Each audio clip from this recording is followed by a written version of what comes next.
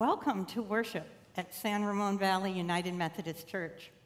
I'm Pastor Kim Risedorph, and I'm so grateful you are here worshiping with us in person, online, on Sunday, any day. Worship happens whenever we open ourselves up to an experience of God, divine love, right here with us. And so we worship together. We're in the middle of a sermon series called Are You Looking for a Meaningful Faith in a Modern World? And when we began to plan today's service, we picked a theme which would be awe, that feeling that of being in the vastness of God's presence that transforms how we see the world. Living with awe is a way to have a meaningful faith. But then this week, some awful things happened. A rampage of mass shootings, not only in California, but in Austin and last night in Baltimore, where a two year old was shot in the face. We also heard more details about the brutal beating of Tyree Nichols at the hands of police officers. And we also learned brutal details about living conditions for farm workers in Half Moon Bay.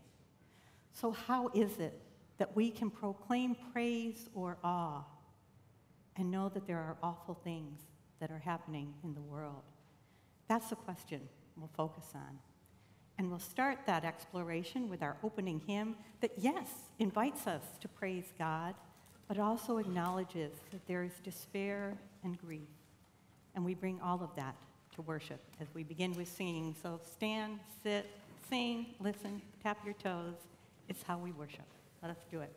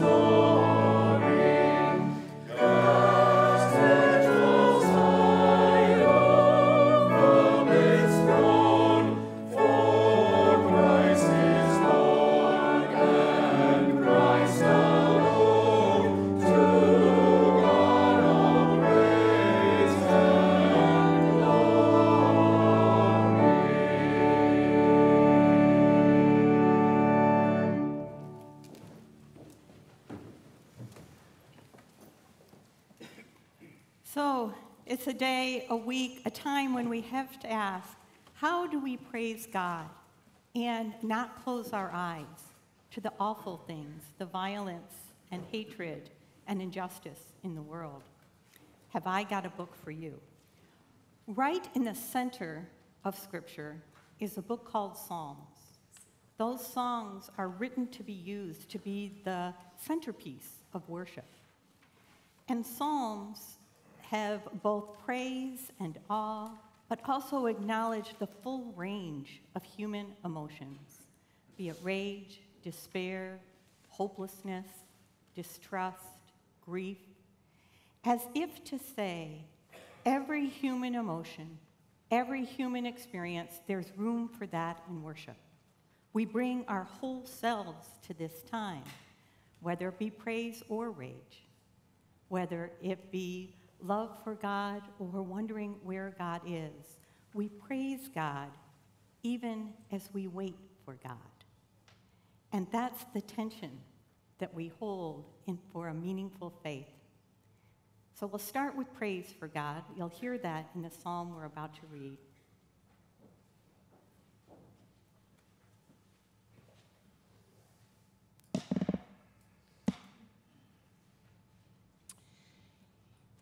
Hear today's scripture reading from the book of Psalm. Release your heart's joy in sweet music to the eternal when the upright passionately sing glory filled songs to him. Everything is in its right place. Worship the eternal with your instruments, strings offering their praise. Write awe filled songs to him on the ten stringed harp. Sing to him a new song. Play each the best way you can, and don't be afraid to be bold with your joyful feelings. For the word of the eternal is perfect and true, his actions are always faithful and right. He loves virtue and equity. The eternal's love fills the whole earth. Let all people stand in awe of the eternal let every man, woman, and child live in wonder of him. Listen, the eyes of the eternal is upon those who live in awe of him, those who hope in his steadfast love, that he may save them from the darkness of the grave and be kept alive during the lean seasons. We live with hope in the eternal. We wait for him, for he is our divine help an impenetrable shield. Our hearts erupt with joy in him because we trust his holy name. O Eternal, drench us with your endless love, even now as we wait for you. With, with delight, we hear what the Lord says.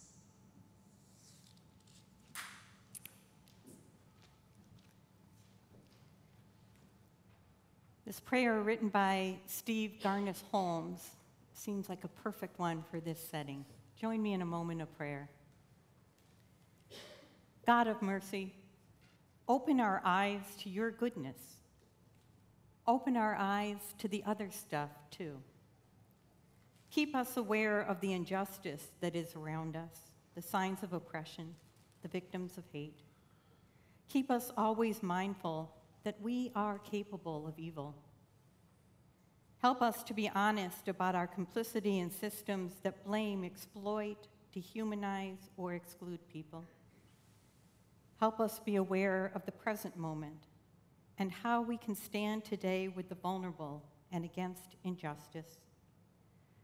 Each moment is a choice. Be with us in our choosing. Amen.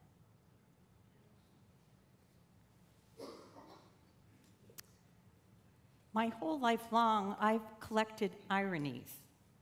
You would too if you grew up in the small upstate New York town that I grew up in. There was a chiropractor in town, and his name? Dr. Tripp. I know. I learned irony at an early age. But it gets even better. There was one local travel agency in town as well. It was owned by a husband and wife team, and uh, they the name of their business was their two surnames, which was Muddle and Muddle. what can I say? I grew up aware of irony. And I'm aware that the uh, English language sometimes delights in irony. There's a word for that. It's called contronyms. There are words in the English language that simultaneously mean two things, like bound, going somewhere, or restrained from moving, or buckle, to fasten together, or to bend from pressure. Cleave, to adhere firmly, or to split apart. Irony is a part of life. It's something we learn to live with. But there's nauseating irony in the fact that Tyree, Tyree Nichols died at the hands of officers who were part of a special unit. That special unit was there to bring peace to the streets.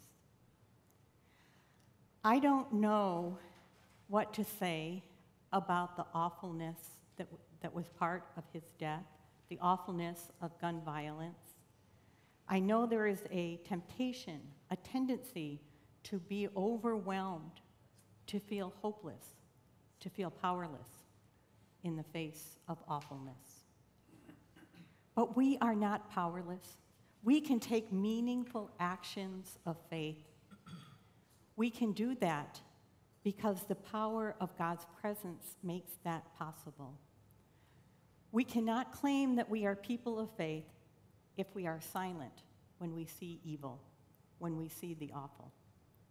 How, did, how then do we go forward? What does an authentic faith look like when there is evil in systems, in gun violence, in excessive brutality, in two year olds getting shot?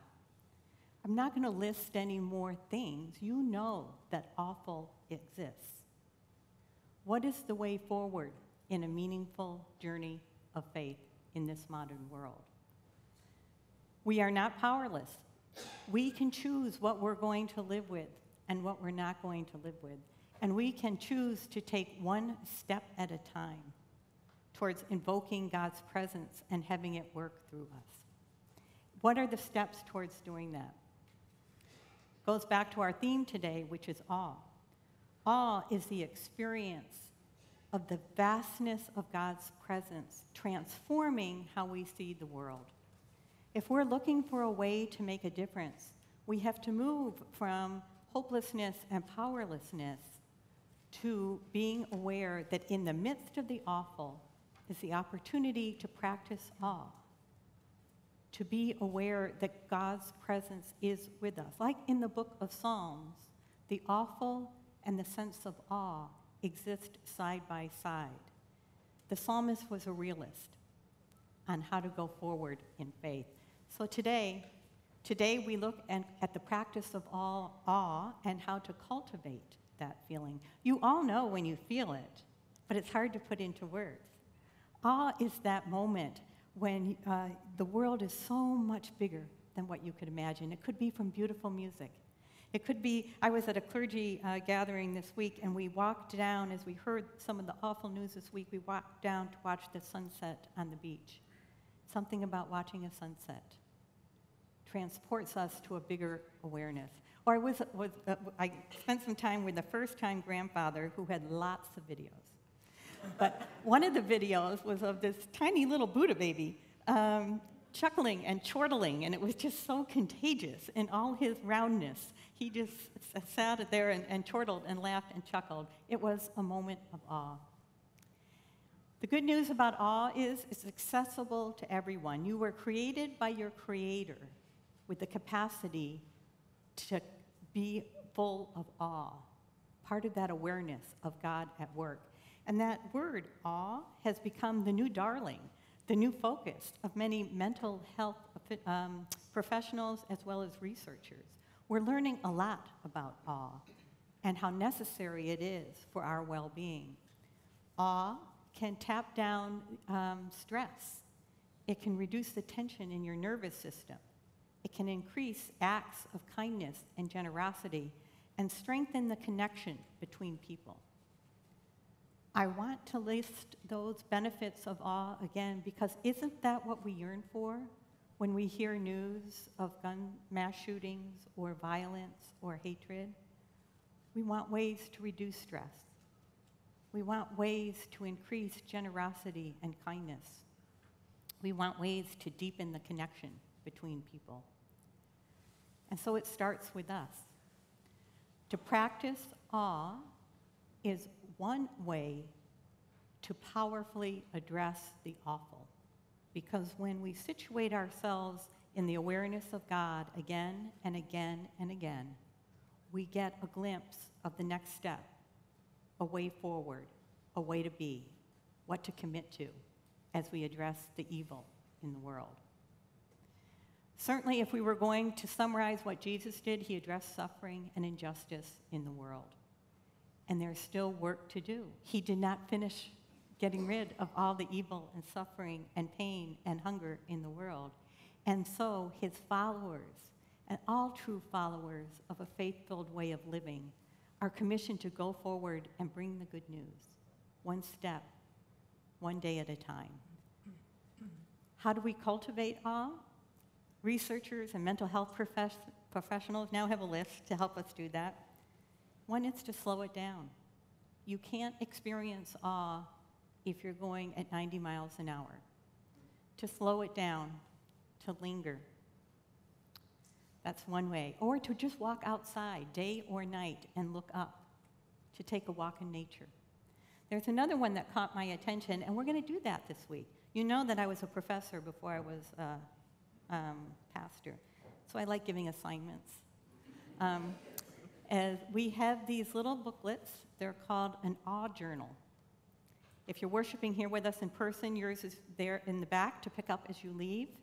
If you live locally but are, are live streaming or watch, watching online, you can pick this up at the church office. And if you live outside of this geographical area, if you help us get your address, we would be delighted to put one in an envelope and mail it to you. Our assignment this week is to write down the little things that bring us awe, and every day to write down something. We have an opportunity to become aware of the power of awe so that we can be the power of God that is so needed. We are a faith community that says worship is more than a noun, it's a verb. And it becomes a verb when we take this cultivation of awe and we practice it, and then we move forward to address the evil. We're not powerless, we're not helpless. We are people who worship God. And that's where our next piece of music leads us.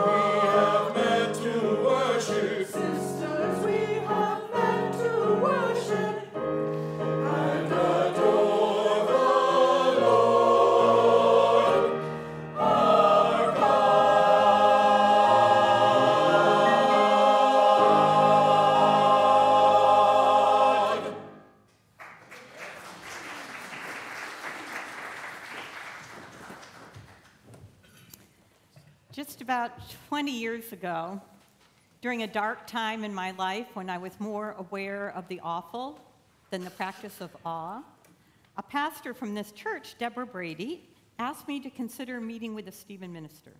And I'm so glad I said yes. My Stephen minister visited me at my home once a week for about an hour. She listened, she prayed, she didn't try to fix things, she didn't try to give me advice.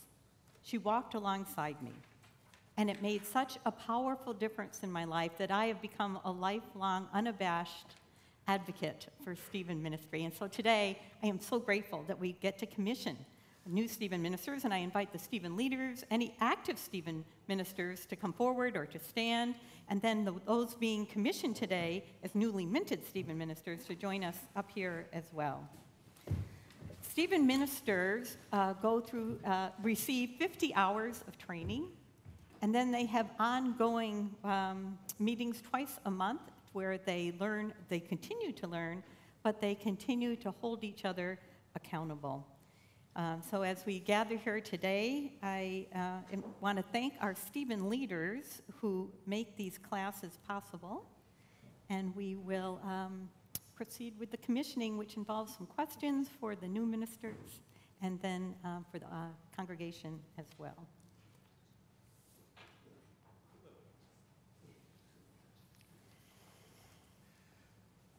Stephen ministers,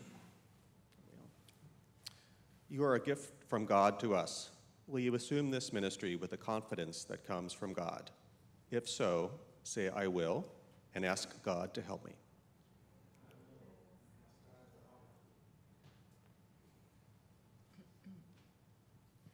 Stephen Ministers, uh, will you nurture the skills you have learned and use them in service to others to support, encourage, and walk alongside people in their needs? If so, say, I will, and ask God to help me.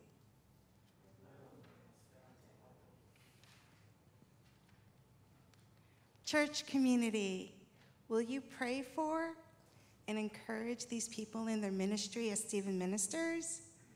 When you need a Stephen minister to walk alongside you, will you be open to this opportunity? If so, say with enthusiasm, Yes, with God's help we will. Yes, with God's help we will. Amen. Amen. Al, do you want to introduce our new Stephen ministers and then we will commission? Certainly. Uh, so we're welcoming today as Stephen ministers Claudia Artiga, Warren Cancel, and Lindsay Heratzka. Great. And Claudia, we'll start with you. If you would kneel here, and then we will gather around and lay hands on Claudia as we hear this blessing. Claudia, may the God of love fill you with the Holy Spirit so that you may be faithful in the ministry to which you have been called, gifted, and sent. Amen. Amen. Warren. Warren. May the God of love fill you with the Holy Spirit so that you may be faithful in the ministry to which you have been called, gifted, and sent. Amen. Lindsay. Lindsay, may the God of love fill you with the Holy Spirit so that you may be faithful in the ministry to which you have been called, gifted, and sent. Amen. Thank you, San Ramon Valley United Methodist Church, for being a community that supports the Stephen Ministry. And thank you all for saying yes and for uh, providing these opportunities. We'll be around if you would like to learn more about the program in any way. Um, all these people will be around. But right now, we'll return to our seats.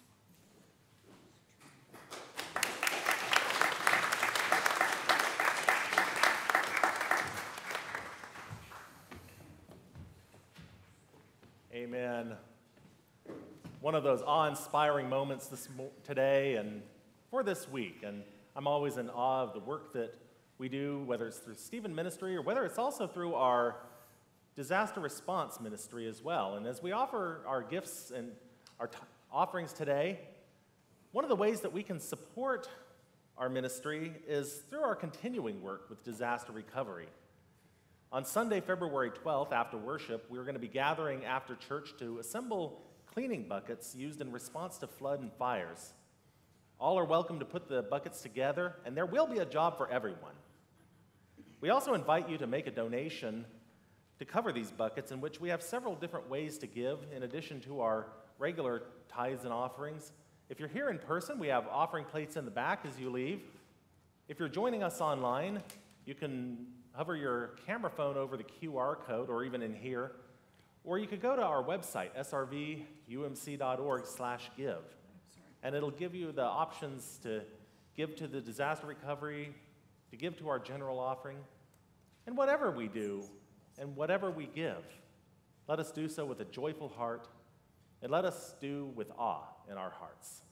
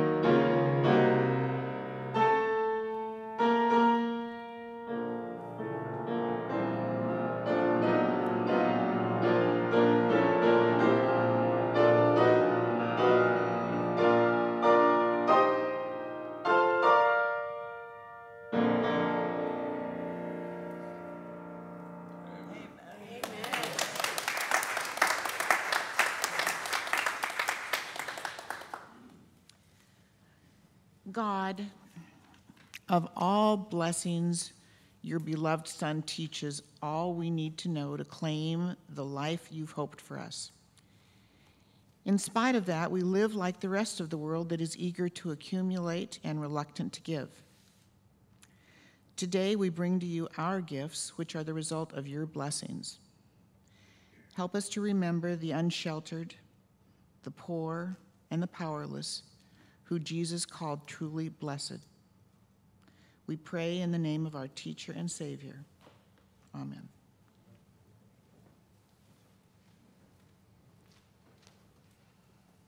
One of the ways that we can live a meaningful faith in a modern world is through the power of prayer. And so, as we lift up the following prayers that we are aware of for this week, I invite you to join me in a spirit of prayer. Our loving and holy God, we come to you today with so many things going on, so many things happening in this world, so many things happening among our church family and beyond. Today we lift up prayers for Priscilla Wolfram's cousin Ellen, who is going through treatment for cancer. We pray for all of those who are living with cancer that they may all feel held in God's tender, powerful care. We lift up Joyce Kaiser as she is now receiving hospice care. As we lift up prayers for peace for her and for her family during this time. We lift up prayers of hope and encouragement for Ida Dandridge as she seeks a new job. We continue lifting up our world, our nation, our state, and our community. We lift up especially all of those who have been affected by all of the mass shootings that have happened this past week. We pray for the family of Tyre Nichols. We pray for an end to violence. We pray for peace throughout our world. We pray for all of those who are going through health challenges. We pray for those who are grieving and continue to grieve. We pray traveling mercies for those who are traveling. And we pray for our church here locally and for the church universal. And so, as we give all of these prayers into your hands, O God, let us join with the disciples from generation to generation and with the confidence of the children of God. Let us join together in the prayer that Jesus taught us as we say, Our Father, who art in heaven, hallowed be thy name. Thy kingdom come, thy will be done, on earth as it is in heaven. Give us this day our daily bread, and forgive those who trespass, as we forgive those who trespass against us. Lead us not into temptation, but deliver us from evil.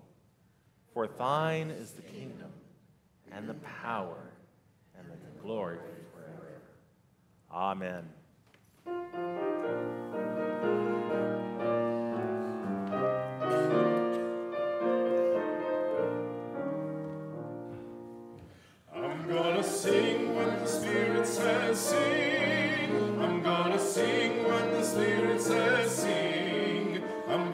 Sing when the Spirit says sing. And obey the Spirit of the Lord. I'm gonna pray when the Spirit says pray. I'm gonna pray when the Spirit says pray. I'm gonna pray when the Spirit says pray.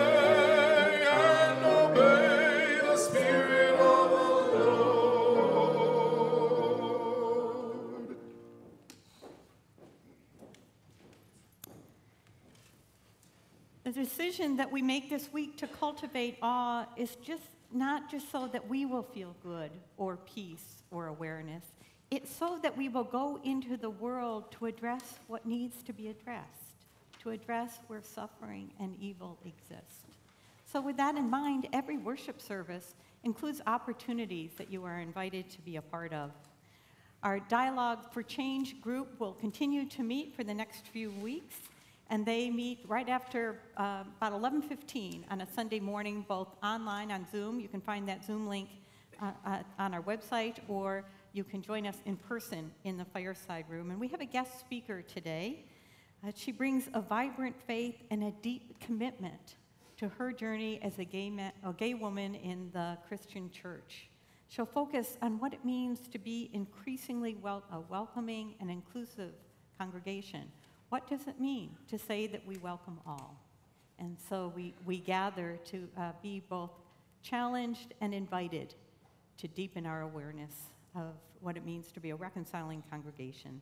And as Andrew mentioned earlier, we will gather in two weeks. Uh, it'll be on the 12th uh, right after worship, February 12th, to assemble the buckets. We've had a team of wonderful people that got all the ingredients. These cleaning buckets are taken to places where there have been floods or fires. They have ingredients that allow people to clean up and stay safe in, in the midst of that. So, what better way to move into Valentine's Day than, by, than to be doing this act of love together after worship on February 12th? And as Andrew said, if you go to our give page on our website, there is a line item if you want to give to support getting those ingredients ready um, to be in those buckets. So uh, there's many ways to participate and make a difference.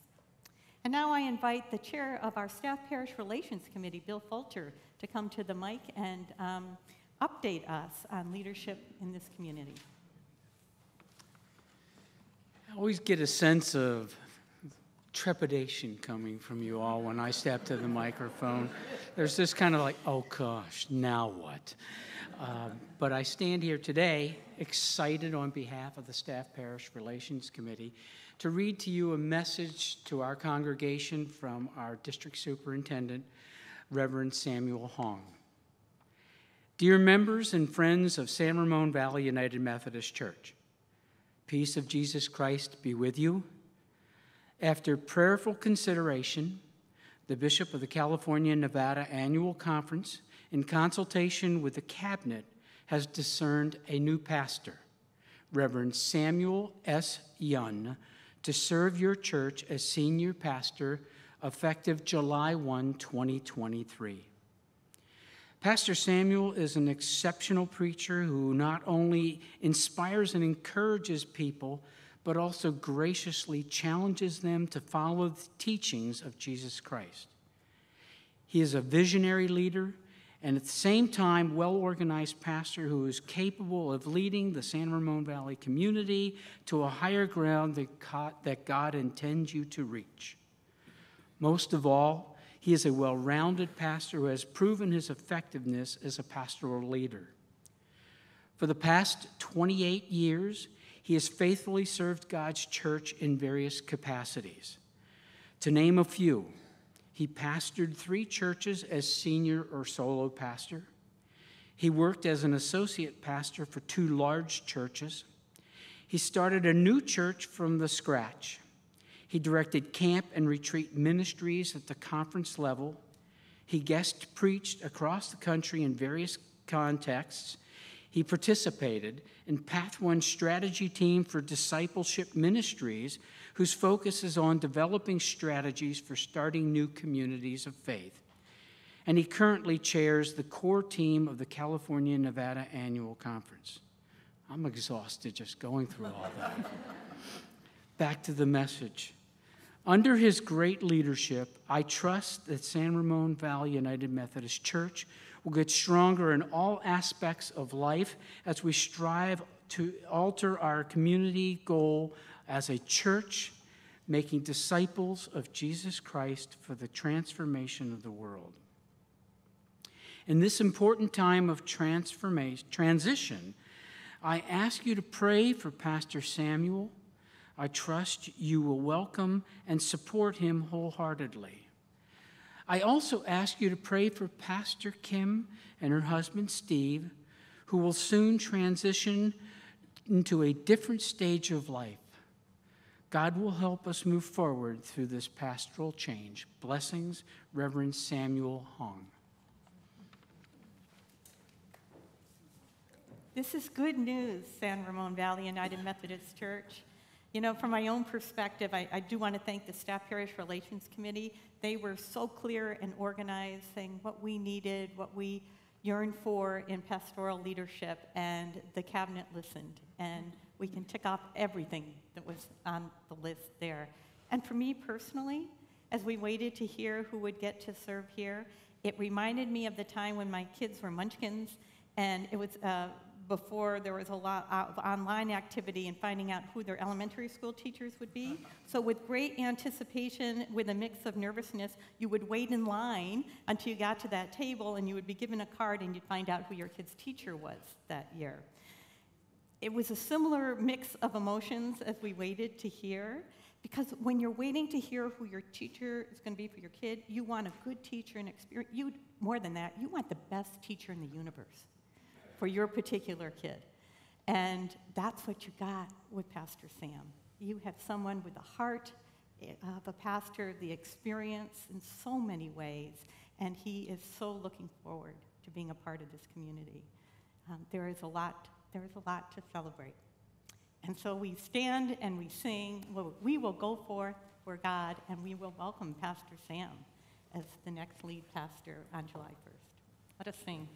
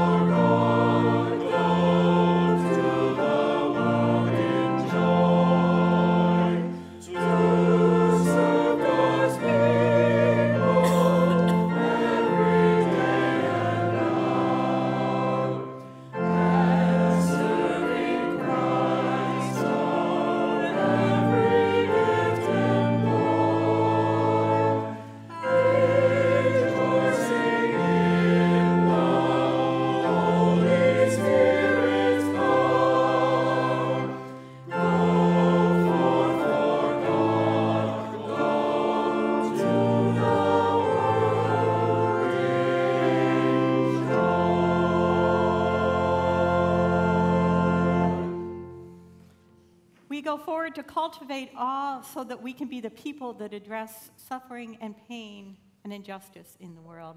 And as we go forward, hear the words of William Sloane Coffin May God bless you and keep you and be gracious unto you. May God grant you the grace to never sell yourself or God short, the grace to risk something big for something good, grace to know the world is too dangerous for anything but truth, and too small for anything but love. So may God take your mind and think through it.